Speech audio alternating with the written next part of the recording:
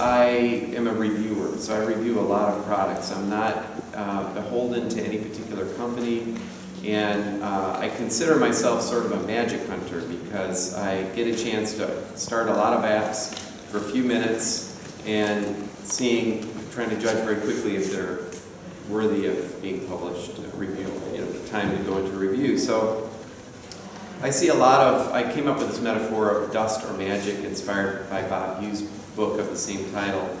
Um, it, it comes off a haiku. The haiku is an idea can turn from dust to magic depending on the talent that rubs against it by Matsuo Basho. So I'm editor of Children's Technology Review and I'm not an illustrator. So I want to make that perfectly clear.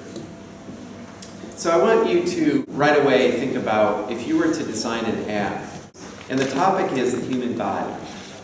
All right? So someone came to you and said, it's a nonfiction, I want you to create and illustrate and, and find a programmer and make an app about the human body.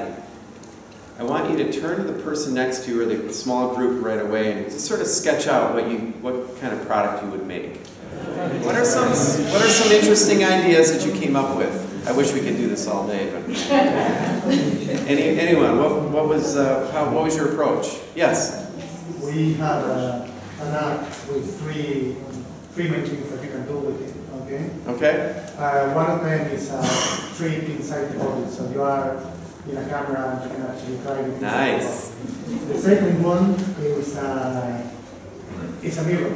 Okay, so you're using the webcam and you're looking. Uh, it would be like Google Maps where you can look at the yourself or the, or the physical or just a illustration. So as you move it, you're actually seeing different parts of the Clever. Yeah.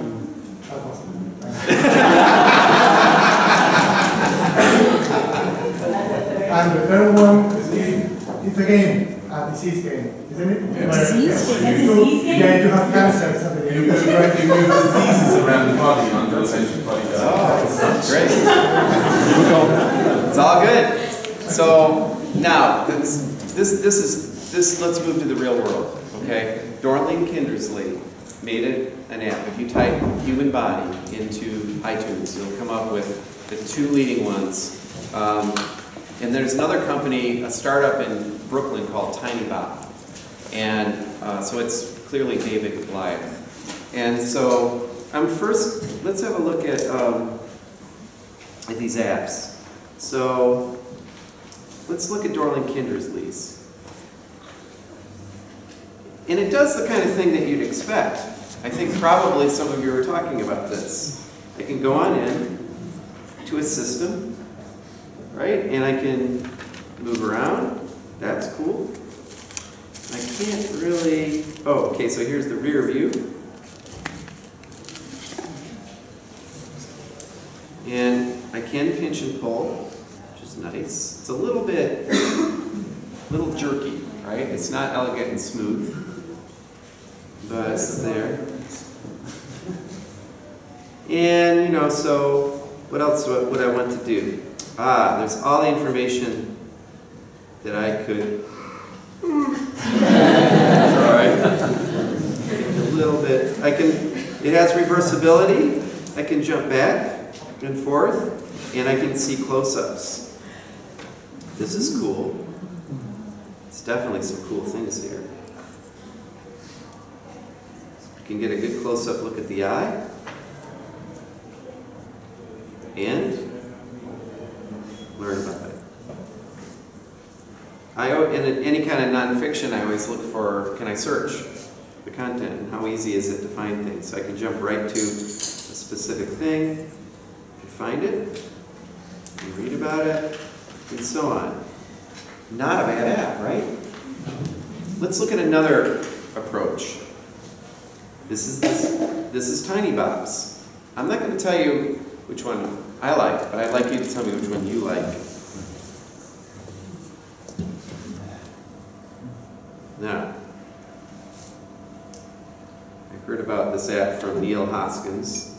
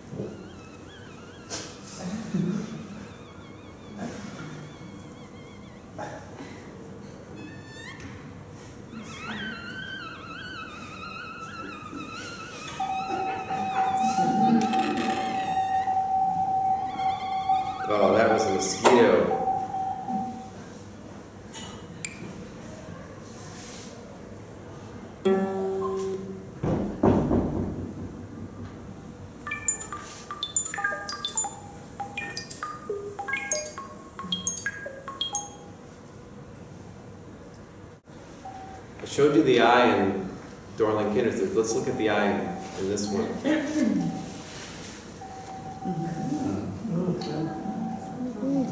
Giving it a little eye test. What do you think a child would do if there was an eye in the screen? Poke it.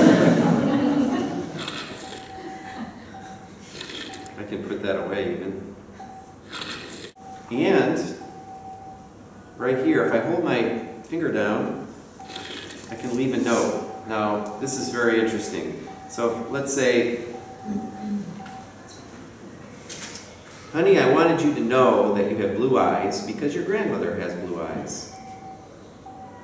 So then I touch the dot. Honey, I wanted you to know that you have blue eyes because your grandmother has blue eyes. And then these dots are notes. Yes. From other times when I've shown this app. Another thing that every child is going to quickly do, and we might as well just do it, is go right for the poop.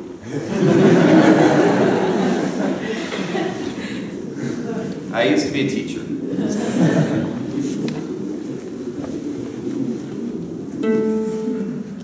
Here it is. So, of course, you are going to want to see kind of how things work. And this is after lunch. Here it comes. And you have to get rid of it.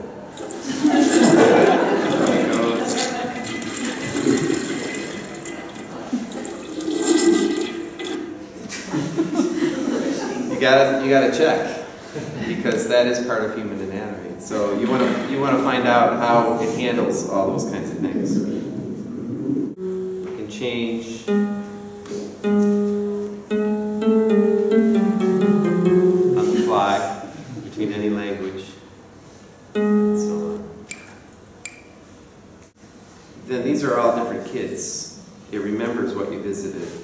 So there's two approaches to the same thing. Which, which do you think, chil- what do you, which do you think will make the most money? Because at the end of the day, the stakes are very high. Depends on marketing, surely. Marketing It helps. doesn't really matter if it's better or not, it's not necessarily itself. Yeah, the, the business reality right now is very brutal. But one of those apps is making millions of dollars, and the other app is probably making thousands of dollars. DK is making money. DK, Totally opposite. DK's just, uh, they just digitized their book. Yeah, it's basically. So they, all the work's already been done and they really haven't had to do any work. There are two different psychologies here to the same topic. And DK's uh, approach is, is deeply and seriously flawed because they brought a book metaphor to the, uh, to the tablet. They brought the text and they said, we're going to digitize a book. They have the information, oh, it's multimedia or it's new media, it's interactive because you can pinch and pull. That doesn't do it anymore. This is more about psychology and play and engagement. So you have to be a psychologist if you're going to get into this space. You just can't have good, you just can't have pretty pictures. The correct answer is that Tinybop is wildly successful, in part because Apple has featured it, and that people at Apple like it, and it's, it's in the top 10 selling apps. And This is had word of mouth. the, his inspiration came from his children. And they would have, in the evening, he'd ask his kids, what do you want to know about? And they would say, well, I want to know what happens, how your heart works. And so he decided to try to make an app that explained it. So starting with the child is where that came from. Dorling Kindersley started with a textbook. And we have to, we have to fill that, you know, it's like fill in a spreadsheet. And Has that been previously, has that been a CD-ROM as well, though? Dorling Kindersley has made beautiful work in the past, beautiful. And I'd be the first to vouch for it, but I'm also confident that it won't be used very much, or it'll be used as a reference. And, you know, it's, I, I, at the end of the day, I don't think you can compare the two. But I think that, um, what I'm, main thing is, I want you guys to understand that this is a whole different set of rules. So we have to start with some definitions. So this is where it gets really tricky. Because what is a story?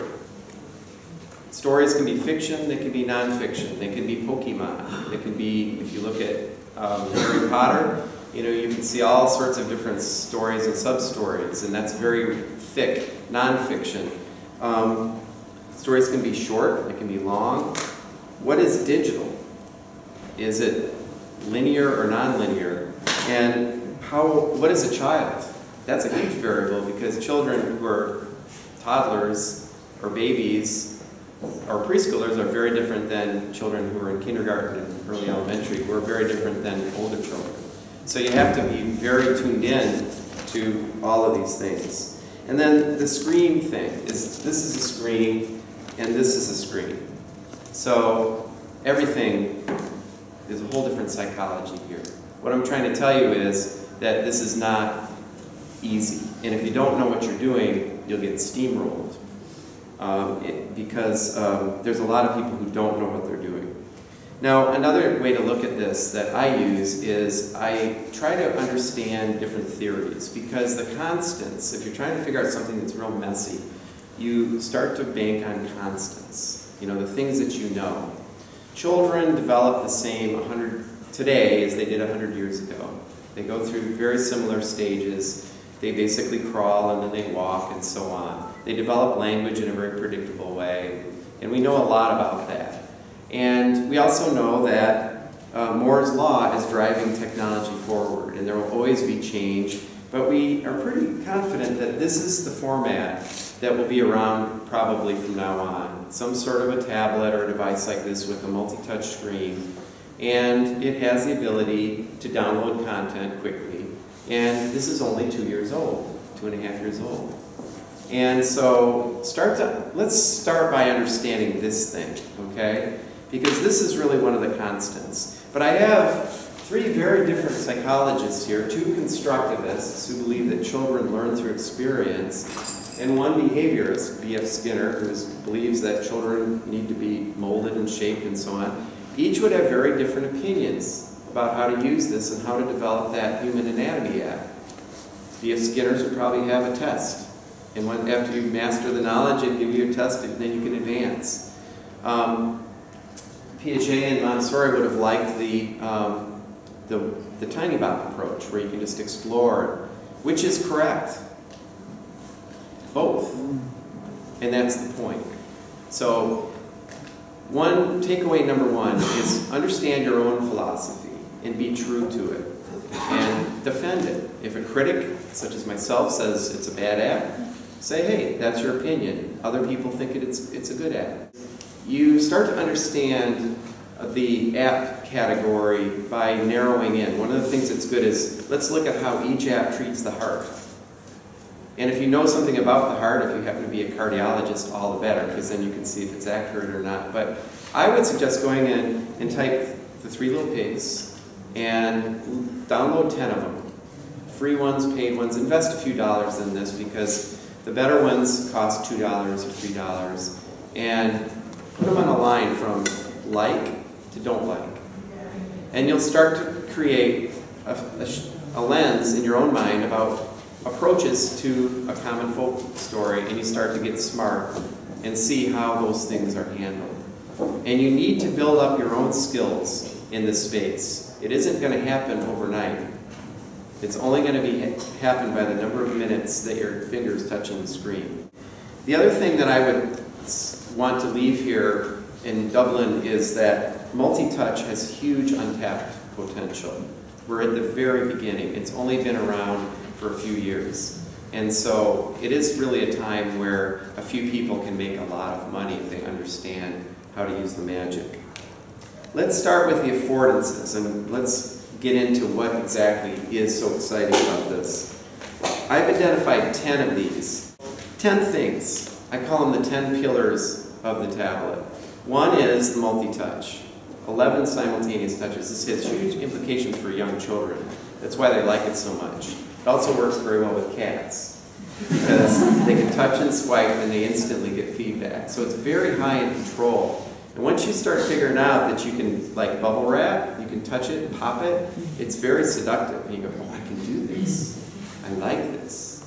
And that is really the, the main power. Children think like this, they swipe. This whole approach, while it may not have been developed for children, is the perfect storm for, um, for children. Um, 10 hour batteries, it can last all day. That was a huge advance that no one talks about. But um, how many times have you reached for a toy or something and the batteries are dead? It doesn't happen so much anymore. Um, the internet, I mean, enough said. You, you can put Google Maps on here and you can give a child the, the best atlas in the world. The whole world of knowledge is at your child's fingertip. I almost think that it's child abuse not to give, give every child this. Why wouldn't you give them the answer to every possible question in the form of a search engine? Google Images. If they find a bug that they don't know what it is, they can type it into a search engine at a very young age and they can find this is pure, powerful knowledge. So we are living in a time of revolution. It has really wonderful sound, stereo sound. So you can put Beethoven's Ninth Symphony on here, and a child who's very, just the very beginning of their, let's say they're, they're a young Mozart and they don't know it. How many children are, have the genetic potential of being a great composer, but they've never had the exposure, they've never been to the symphonies, they've never had tutors, they can't afford music lessons. Now we can start to give them the experiences that can fill in the gap. It has cameras, and the way that you guys implement it is very smart because people forget. There's a front and a back camera on this, and it's pretty good. And you can make that an X-ray. You can make it, um, you know, all kinds of things. Um, and it's pretty, all things considered, if you remember spending $2,000 on a laptop 10 years ago, the, the, these are now $150 to $500. The Android tablets, there's one just coming out in the, the States for $100. And they, the catch is they want to sell you bundled software with it. There are 200 apps. And then they, they don't give you access to the mainstream app stores. So the hardware is really becoming almost an afterthought. It's the software sales of music and movies that's, these are commercial pipelines. So it's a really interesting time to be a publisher, and this is the good news. If you are a source of ideas, content is king. It always will be king, and there's more ways to reach children with your ideas. The trick is you have to figure out the nuances of these pipelines. The other constant is supply and demand. The people who understand how the iTunes model works are making a lot of money. Toca Boca is one. They understand that it's bite-sized, it's not novel-sized. You offer a lot of really good things for 99 cents or just one bite, and you build trust so that your child is very engaged and they, they keep coming back. And how many downloads did Toca Boca just surpass? 50 million. 50 million. So 50 million at 99 cents each. That's, that's a lot of money. And that's just on my iOS. Yeah. The question now is what can I turn this into? That's your new question. All right? So, I think it's very, you know, your advantage is you understand illustration. But your disadvantage is if you approach it with a 19th century model, you're headed for a train wreck. A lot of time, and I'm telling you this because I am, I, I look at a lot of products. And another thing is, is watch children. The children, if you watch how they play with these, that, that has inspired more good apps and more good practice. Uh, they'll run right away or they'll hit the home button if they don't like it.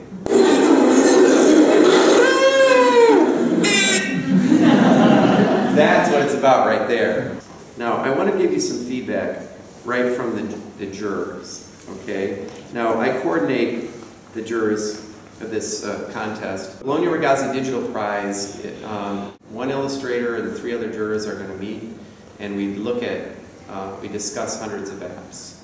And it's kind of like with the book prize where we lay them out on the table. We can't do that, and when you put them up on a projector, we try to narrow. Uh, last year there were 242 entries from 32 countries, and we try to narrow it down to top 20 and then top 10. Six products were, were selected from that. Any publisher, any country, no fees, any platform, although most are coming in on Apple.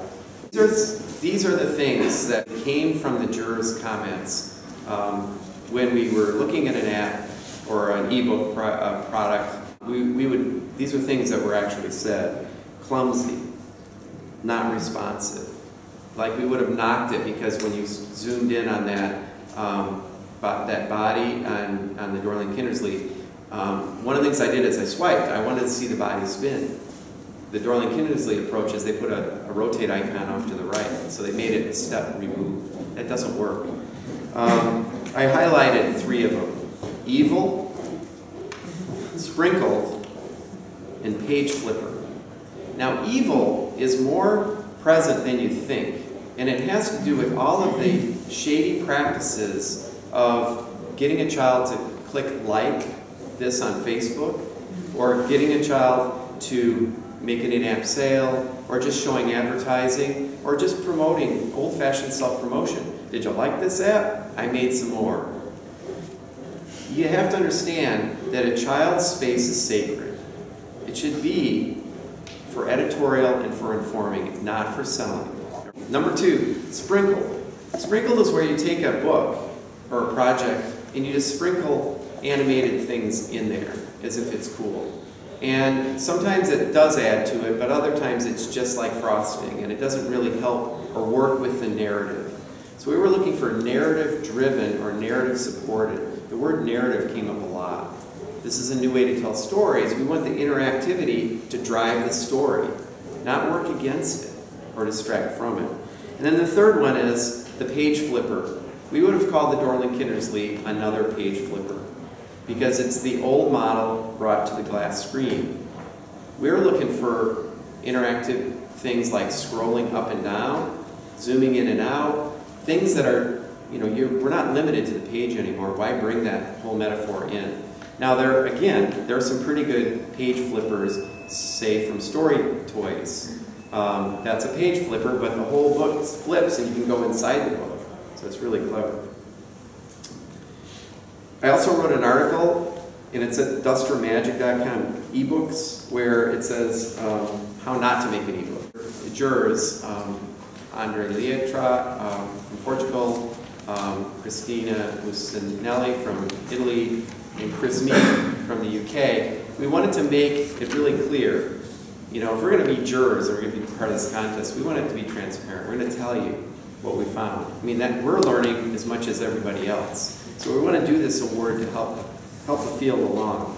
So the magic, the stuff that we liked, were anytime you put something on the screen like a balloon, right? There's a lot of times you see balloons and things. It better pop. All right? I'm just telling you. If you don't, if you put something interesting and it doesn't do anything, what happens is it's dead. And a child hits it and it's like, boom. And they say, oh. it's, it's a very small little psych psychological thing. It happens in instantaneous little bits of seconds, but their engagement drops. So the best design starts from the ground up. It starts around the interactivity and it builds on that. The principle of accidental success is very important. There are multiple ways to do things. Why make it just swipe to turn a page? What if you just tapped on something? Or what if you lean the device? So there's multiple ways to do the same thing. You never know when there's a child with special needs who might have some sort of motor issues and you, you're giving them more hooks. Same with languages. You can have multiple translations or you can eliminate language altogether. Audio is very important. Remember in the human body from Tinybop, you could hear the blood gurgling? There were other sounds too, which I care not to re recall, but um, that's really important. It tells you that the, the thing is alive. Mark Schlichting says, good audio makes poor graphics look better. Don't believe me? Have you ever seen something called Pokemon? I wish I had one millionth of their money. How about this one? This is just big giant pixelated blocks. You ever heard of Minecraft? I wish I had their money. One word to take away is crisp, like a potato chip breaking. That should happen the second you touch the screen, because that little makes it feel, oh, it's alive, it heard me. I'm going to show you another one. Start at the very beginning. Within five seconds, I have to have success. So I'm counting. Right, what do I do now? It's got the ambient noise. See how that thing seems, what, what's it doing? Is it dead or is it alive? It's alive. It's pulsing like a heart, like a hunting dog waiting to pounce. That's what an interface needs to do from the very start. This is why they're making a lot of money. So what do I do? Did you hear it? Mm-hmm. Now a lot of apps start with a dog and pony show. I'm here, it's great, everything's happy, ah, you're a kid, I'm an adult, I'm going to entertain you. The kids hit the home button very quickly. This is the beginning of a concert. What is the beginning of a concert like? Absolute silence because I make the first move. That's really scary as a designer. You don't push a thing. So this is this is the sign of really good work. It needs to be able to do that. So I may not know what to do. There's nobody that said, hey, guess what you do now, kids? First, make a concert. You can make a concert. You know, none of that.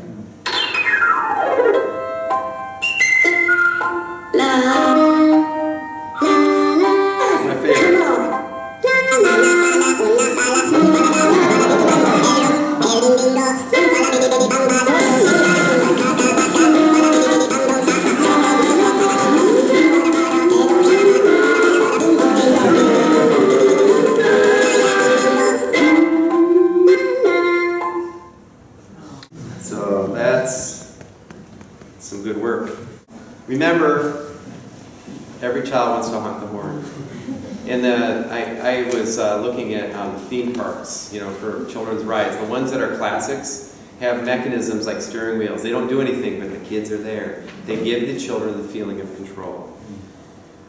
Here's some examples of, of the dust. Okay? What do you think of this interface? Now this is an early reading program. Uh, Some of these come from very established and reputable um, publishers like Sesame Street. Um, this is Warner Brothers. These guys have huge budgets. But you're supposed to sort and put the match, right? Look at all of the clutter. You don't throw a 2D thing on a 2D screen. I mean, kids will figure it out, but it diminishes the chance that they will or they'll find, they'll find something else. What I basically did was I um, went through, I looked at all the low ratings, and I just pulled out the screenshots. There's a lot of font abuse going on. just really, really sloppy work. Um, overlaying things, just laying the, the, the copy over the duck, and just, you know, it's just sloppy. Here's the other big, huge variable. This has to work on a, on a small screen, too. So if you've got a font that looks like that on an iPad, you're really out of luck if you're going to an iPad mini. Or if you go to a, an iPhone or an iPod Touch, it's, there's no chance of it working. So there's lots of this practice. The whole art of page turning is, now a lot of this comes from template-based approaches, where a publisher will take their book to uh, a house that says, we'll make your, we'll make an ebook for you.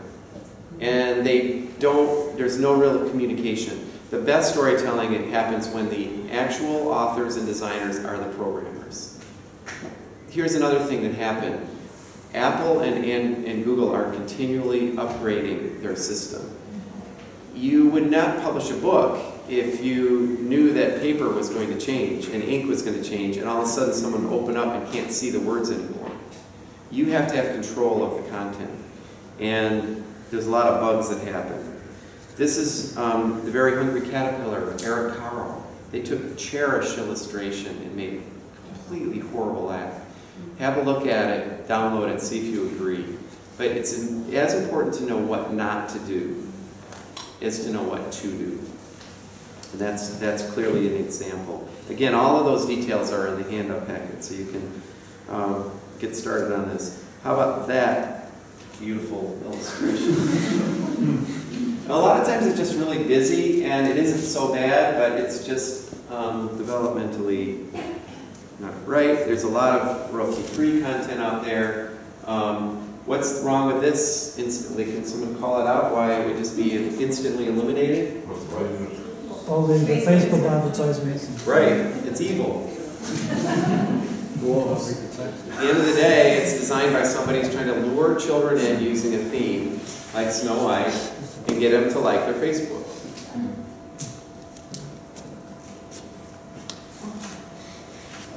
Just more bad fonts.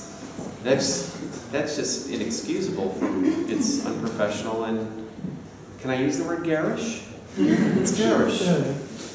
There's a lot of mediocre work, and the, the excellent work gets the prize. This is just nasty. And those balloons don't pop, by the way. This is for babies. This is marketed to babies. It's called Baby's First Puzzle Farm Light.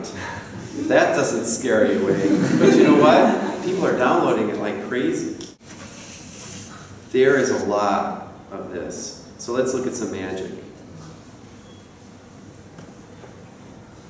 So Warhorse won the nonfiction prize, and I think we should have a look at look at a touch press. So touch press is, is based in the UK. Let's look at it. It's $14 and it's 1.9 gigabytes. This is like a regular book. Warhorse is World War One, and the, the reason that the jurors liked it was that you can go in and touch stuff, and it's arranged like a regular book. But the illustrations do what you'd expect them to do. So you can zoom in and take a close look at things. If you want. That's cool, but check this out. Now it has like the Kindle-like things. You can adjust brightness and reading if you just want to read it. This is where it gets really interesting. Now I'm not online and I should be. I apologize for that. It's a historical novel, and it has the real documents. It's not watered down. And it has footage.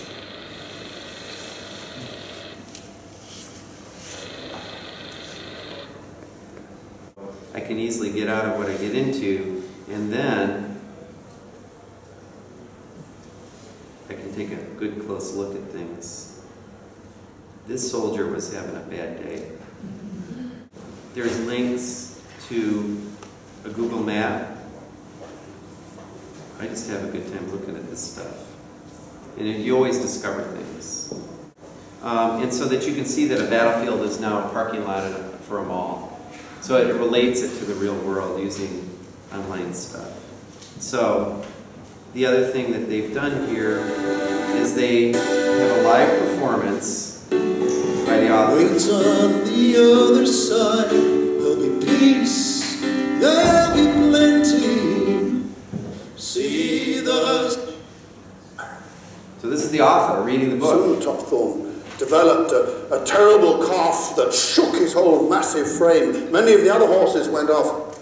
Every element is good quality. And that's the, the key to these things is that um, I have the music schmaltzy. The key to making good product is to make sure every part of it is quality.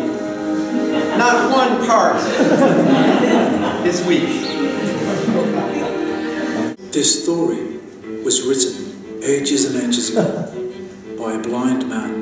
This is what a blind man would see. His eyes couldn't see. So what happens? What would a child do? His mind Touch was the full ideas. of images. And we Clever, huh? can still hear his voice now. So it's previewing the book of the story of Ulysses.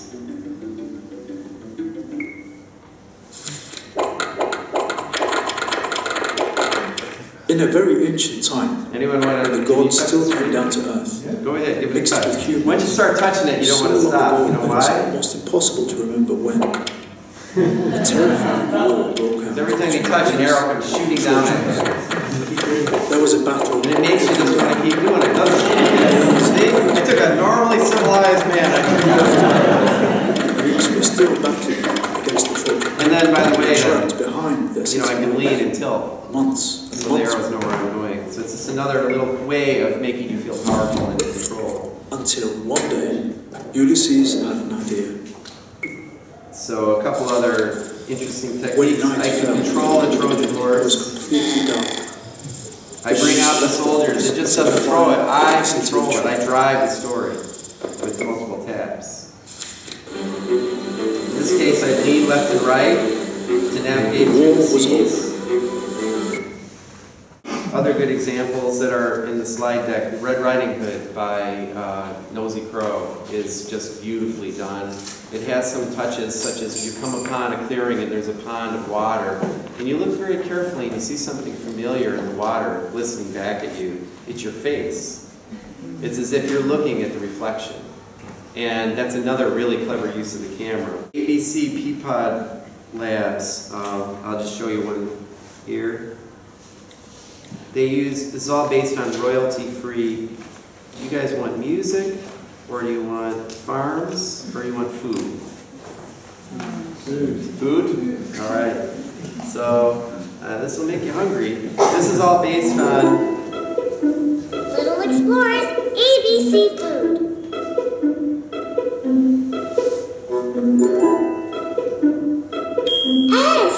S.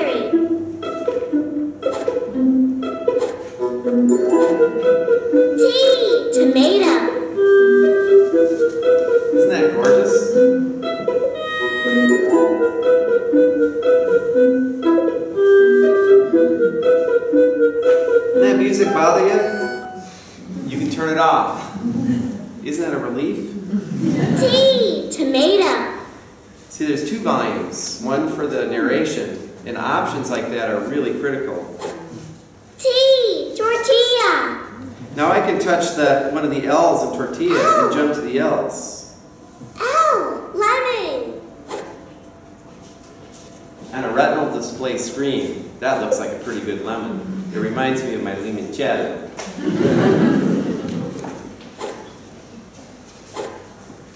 And I'm, it's, you know, I can go back and forth. L. L. Lime. Guess how much Peapod Labs, the publisher, paid for that content? Zero. Absolutely nothing. It's all off of Flickr. All of those videos in there are from YouTube. Every time they update the app, it just gives you fresh links. So it keeps it curated. They're basically curators of Flickr. And they arrange it around an alphabet theme way. Um, the Fantastic Flying Books of Morris Lessmore I brought is an augmented reality uh, app. The way this works is, um, maybe tonight when we're having wine, I'll start this up. This is, what's this? What's that doing? Do you remember these? Isn't it great to be alive right now and see from this to that? Here, I'll hold them together. See if they explode. I mean, this is, it's phenomenal that we live in, in times when, you know, we actually use floppy disks. By the way, for anyone under 30, this is called a floppy disk. They don't touch right there. This is, you know, you can come and see it. Maybe some older person will explain how they work. Monster Socks, phenomenal. The, the winner was Four Little Corners. Get smart on all of them. Try them. It's worth it. The Ocean House Media they uses uh, text scaffolding. If you touch any of these objects, like a machine gun, you go, ch-ch-ch. it says water, water, water, water, and the word flies out. If it said yellow, the word would fly out of the word, the animated would fly out of it and land right on top of it. So it's a really great scaffold. And I'm an educator too, and as are a lot of people who, you know, are looking for things where the child walks away with something they didn't have when they started the experience. So that something you value. And if it's learning to read, that's a good thing. Toca Boca is one of the masters of this space, so definitely download Toca Hair Salon and just try to understand how they've taken basics of illustrations and they're just surpassed 50 million apps downloads. One of the better um, story approaches that actually is a page flipper is Monster at the end of this book. And it's really done well because the reason is you're not supposed to turn the page. It says, don't turn the page, almost tells you. It gives you a lecture. And, you know, there's like nails and a, there's a stank vault and everything else. And it's just really fun thing of what happens when you turn the page. Because there's a monster behind that page and it's going to get you. And the monster, of course, is the Cookie Monster. Disney Animated is uh, another phenomenal um, thing. Closing thoughts. Be true to your philosophy. Understand that we're living in amazing times. Some of you can become incredibly wealthy, and if any of you do, please remember David, um, so that we can get a good, decent hotel room. and understand the affordances of what this is and ride them. They're, they're the new horse to ride. You are no longer illustrators. I hereby bless you if you come and dip your finger in some of this limoncello. You are then now you're illustrator psychologists. That's what you need to be if you're going to get into this space. If you don't want to become this, just don't do it. It's better not to even go into this space than to go in and create something that's, as we say, lame, or just clunky, or just, it, it doesn't work. Remember the 10 pillars. Ask the basic question, what can I turn this, I turned your finger into an arrow launcher. And then Mark Goodchild, I met him at Cinekid last, two weeks ago, and he said, if Alfred Hitchcock were alive today, he'd probably be thinking about how to use a tablet to tell suspense stories. so I like to say thank you.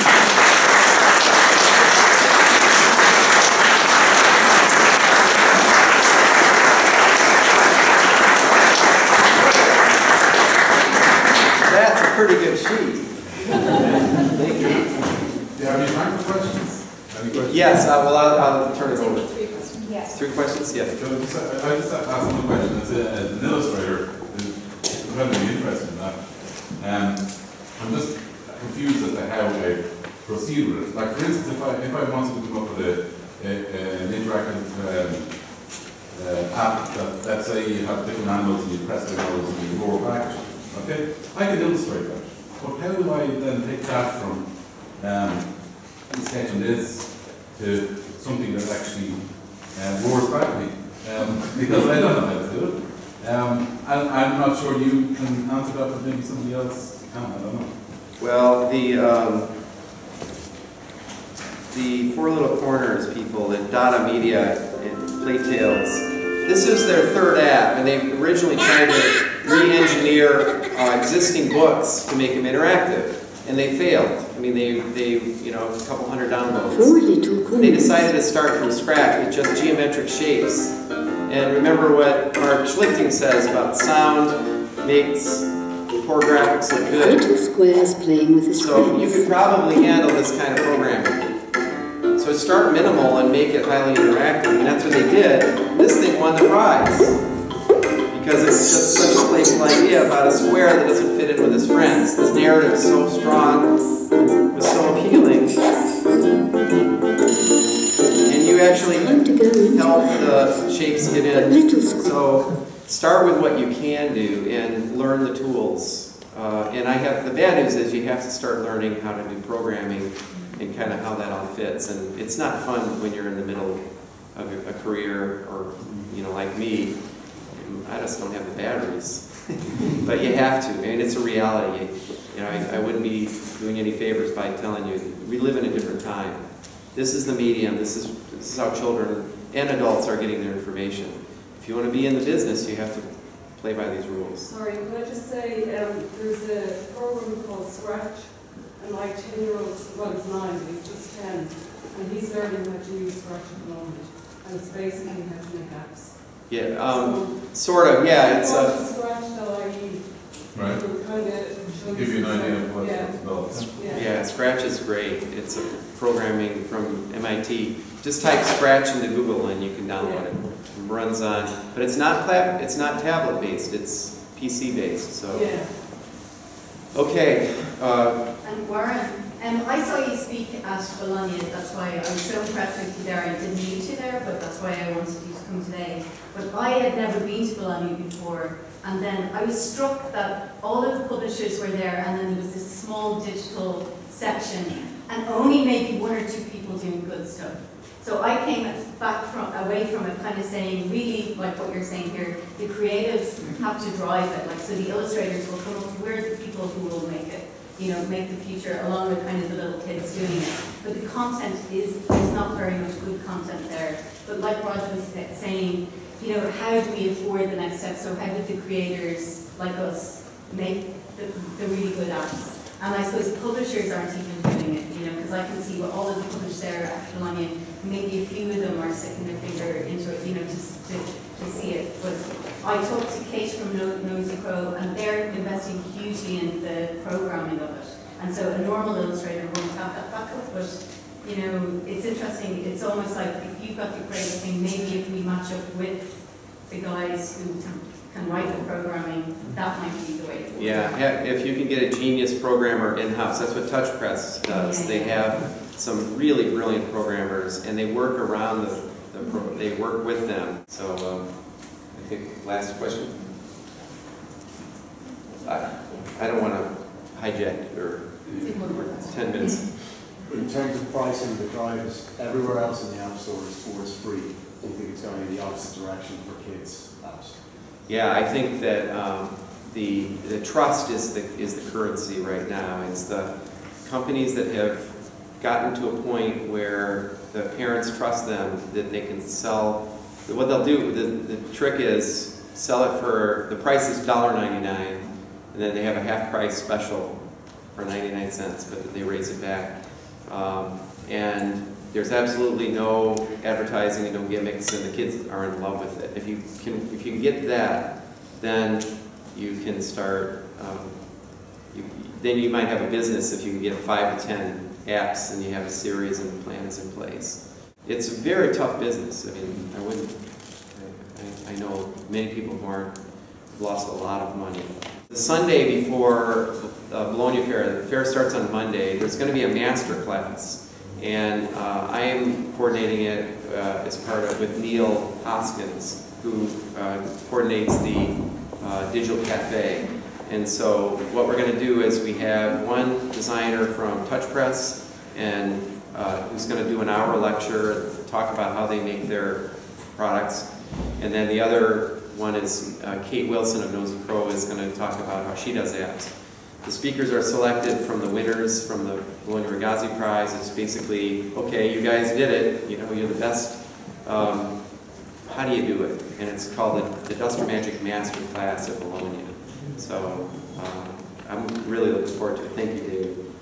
I try not to self-promote. So that would be that's evil. I have two daughters in college, so thank you. again, thank you for having me. I-